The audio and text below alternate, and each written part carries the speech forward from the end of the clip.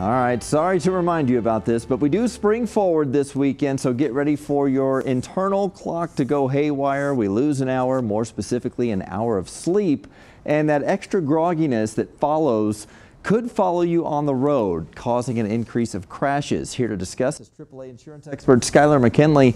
Uh, interesting phenomena, mm -hmm. I guess, when the clocks spring forward, what kind of happens to us? So we know we lose an hour right off the bat, and that can make you drowsy. But even more than that, for a period of about two weeks, we've done the research. We've got this added grogginess. Our internal mm -hmm. clocks are adjusting, and we're probably not getting enough sleep as it is. So directly in the wake of the switchover, we see really significant increases in drowsy driving that's a major public health concern. I can tell you off the bat, 6,000 deaths on American roadways per year are caused by drowsy, drowsy driving, mm -hmm. 50,000 serious injuries. In Colorado alone, about 1,000 crashes.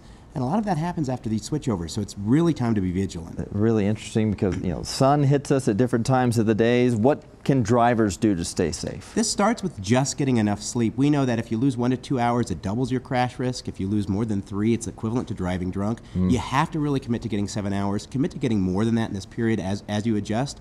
But beyond that, look, it just comes to don't don't eat a major meal before you're driving to reduce drowsy driving. Right. If you have any medications that you're on, double check that, and, and just tend to be a vigilant driver, knowing that these risks are significant, uh, as dangerous as driving drunk. Some people say to even adjust your sleep time by 15 minutes Each a day. night. Mm -hmm. Yeah, starting now now even. All right, what else uh, do drivers need to know going into this time? You mentioned this. The other big thing is light. Our light patterns are changing. So in the morning, you need to be really looking out for pedestrians and other vehicles, keep those headlights on. And in the evening, know that kids are probably going to be out later, right? Mm -hmm. So kids are going to be on the roadways maybe at the same time you're getting off work.